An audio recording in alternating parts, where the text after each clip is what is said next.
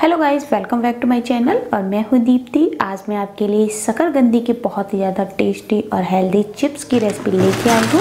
आज मैं शकरगंदी के चिप्स बना रही हूँ ये इंस्टेंट बन के तैयार हो जाते हैं और इन चिप्स को आप व्रत में भी खा के इंजॉय कर सकते हैं। आप इन्हें एक बार बनाइए और लगभग 15 से 20 दिन के लिए आप इन्हें बना के स्टोर करके भी रख सकते हैं। तो फिर चलिए शकरगंदी के हेल्दी और टेस्टी चिप्स बनाना शुरू करते हैं। शकरकंदी के चिप्स बनाने के लिए हमें लंबी साइज़ वाली और जो बड़ी वाली शकरकंदी होती है, वो चाहिए होगी। अगर आप छोटे साइज़ की और पतली वाली शकरकंदी लेंगे तो उसके चिप्स अच्छे नहीं बन पाएँगे। तो यहाँ पे मैंने दो बड़े साइज़ की शकरकंदी ले ली है। तो चिप्स बनाने के लिए सबसे पहले हम अपनी शकरकंदी को छील के तैयार कर लेते हैं और इसे मैंने पहले ही धो के तैयार कर लिया है। क्योंकि इसके ऊपर बहुत ज़्यादा मिट्टी लगी हुई होती है तो आप इसे पहले ही अच्छे से धो लीजिएगा, उसके बाद ही हम इसको छील के तैयार करेंगे।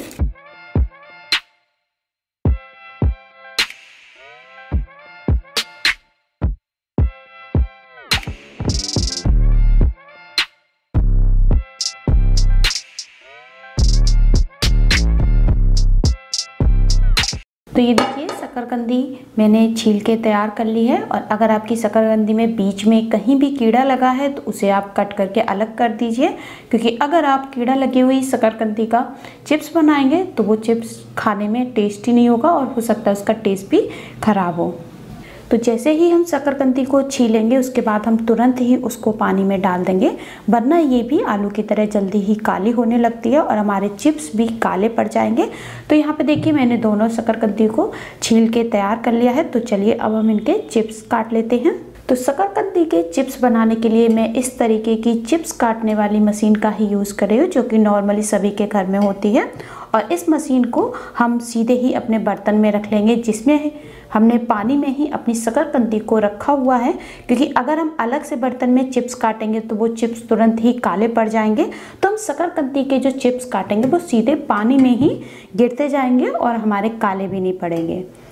तो इस तरीके से हम इसको रख लेते हैं और इसके हम चिप्स काट लेते हैं।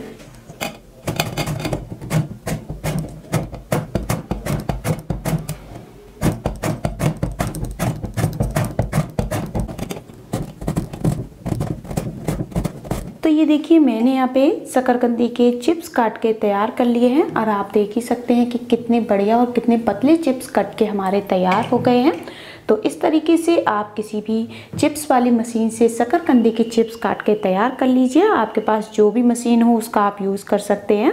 और अब ये जो शकरकंदी के चिप्स हैं, इन्हें मैं लगभग दो बार साफ़ पानी से वॉश करके तैयार कर लेती हूँ। तो ये देखिए, मैंने शकरकंदी के चिप्स को साफ़ पानी में अच्छे से वॉश कर लिया है और अब आप देख ही सकते हैं कि हमारे सारे चिप्स अच्छे से साफ़ हो चुके हैं। अब हम एक कॉटन का साफ़ कपड़ा ले लेंगे और हमने जो ये शकरकंदी के चिप्स बनाए थे, उन्हें हम कॉटन के कपड़े पे फैला देंगे। इससे इनके ऊपर जो भी पानी है, वो अच्छे से सूख जाएगा और सारे चिप्स हम इस तरीके से एक एक करके फैलाएँगे, जिससे ये अच्छे से सूख जाए और लगभग दस से पंद्रह मिनट के लिए ही हम इन्हें कपड़े पे फैला रहने देंगे।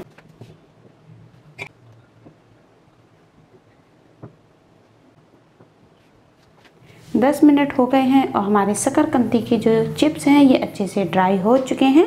ये देखिए, इनके ऊपर जो भी पानी था, वो सूख चुका है। तो हमारे चिप्स अब फ्राई होने के लिए एकदम तैयार है। मैं इन्हें कपड़े पे से हटा के प्लेट में रख लेती हूँ।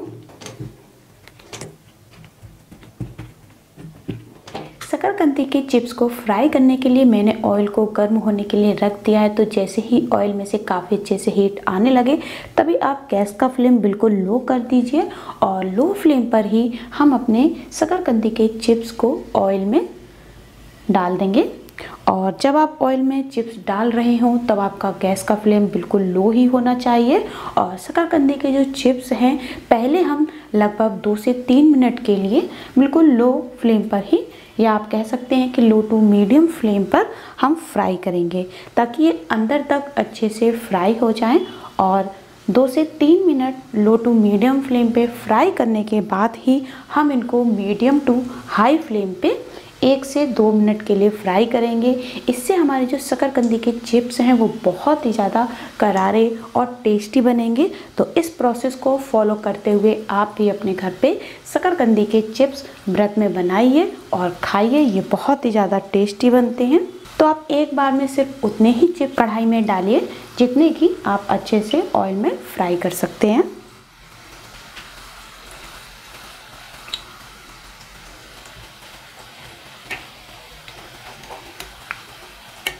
तो जब तक हमारे शकरकंदी के चिप्स फ्राई होके तैयार होते हैं, मैं आपको दिखा देती हूँ कि शकरकंदी के चिप्स को स्टोर करने के लिए मैंने एक एयर टाइट कंटेनर मंगाया है।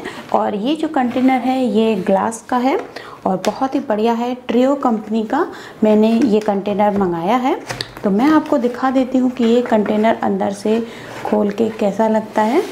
ये देखिए कितने बढ़िया शेप में और इसकी जो लिड है, ये ट्रांसपेरेंट है, ताकि आप अंदर से भी देख सकते हैं। और कितने बढ़िया लग रहा है हमारा ये ग्लास कंटेनर और इसकी जो ये कैपेसिटी है, ये 800 सौ का है। और उसके साथ ही मैं आपको इसका प्राइस दिखा देती हूँ, ये 175 का है। मैंने इसे ऑनलाइन परचेज़ किया है। तो अगर आप इसे ऑनलाइन परचेज़ करेंगे तो आपको डिस्काउंट मिल जाएगा। अब मैं आपको खोल के भी दिखा देती हूँ। ये देखिए, इसके ऊपर भी लिखा हुआ है कि ये ट्रियो कंपनी का है और इसके अंदर देखिए कागज़ है, इसको हम निकाल देंगे और मैं इसे वॉश कर लेती हूँ। और ये देखिए, देखने में कितना बढ़िया लग रहा है, एकदम एयर टाइट है। हम इसमें अपने शकरकंदी के जो चिप्स अगर हम इसमें स्टोर करेंगे तो लगभग एक महीने तक बहुत ही आसानी से हम उसे स्टोर करके रख सकते हैं। तो अगर आप भी इसी तरीके के किसी एयर टाइट कंटेनर को परचेज़ करना चाहते हैं तो इसका लिंक आपको डिस्क्रिप्सन बॉक्स में मिल जाएगा। तो आप इसे ज़रूर परचेज़ करिएगा। तो चलिए, हम देख लेते हैं कि हमारे जो चिप्स हैं, वो फ्राई हो गए हैं कि नहीं। दो से तीन मिनट के लिए मैंने शकरकंदी के चिप्स को बिल्कुल लो टू मीडियम फ्लेम पे पका लिया है। तो अब हमारे जो चिप्स हैं, ये अंदर तक अच्छे से फ्राई हो गए हैं और खाने में कच्चे बिल्कुल नहीं लगेंगे। तो अब मैं गैस का फ्लेम मीडियम टू हाई के बीच में कर देती हूँ, जिससे हमारे जो चिप्स हैं, अभी आप देख ही सकते हैं कि कितने ज़्यादा सॉफ्ट हैं और मीडियम टू हाई फ्लेम पे हम इनको एक से डेढ़ मिनट के लिए और फ्राई कर लेंगे। तो ये अच्छे से कुरकुरे हो जाएँगे। तो इस तरीके से लगातार चलाते हुए हम इनको थोड़ा सा मीडियम टू हाई फ्लेम पर भी फ्राई कर लेते हैं। मीडियम टू हाई फ्लेम पे मैंने शकरकंदी के चिप्स को दो मिनट के लिए फ्राई कर लिया है और अब देखिए हमारे जो चिप्स हैं, ये अच्छे से क्रिस्प होने लगे हैं और इनका कलर आप देख ही सकते हैं कि हल्का सा चेंज होने लगा है। तो हम इनको जल्दी से ऑयल में से निकाल लेते हैं।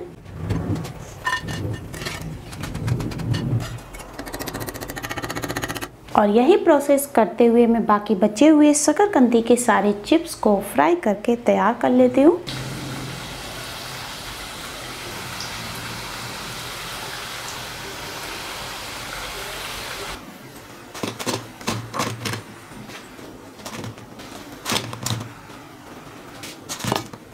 तो ये देखिए, शकरकंदी के एकदम कुरकुरे और टेस्टी चिप्स बन के तैयार है। आप इसे व्रत में ज़रूर ट्राई करिएगा। तो अगर आपको वीडियो पसंद आए तो वीडियो को लाइक करें, शेयर करें और कमेंट्स करना बिल्कुल भी ना भूलें। और मेरे चैनल दीप्ति मिश्रा किचन को सब्सक्राइब ज़रूर करिए। तो मिलते हैं एक नई वीडियो के साथ। Okay bye take care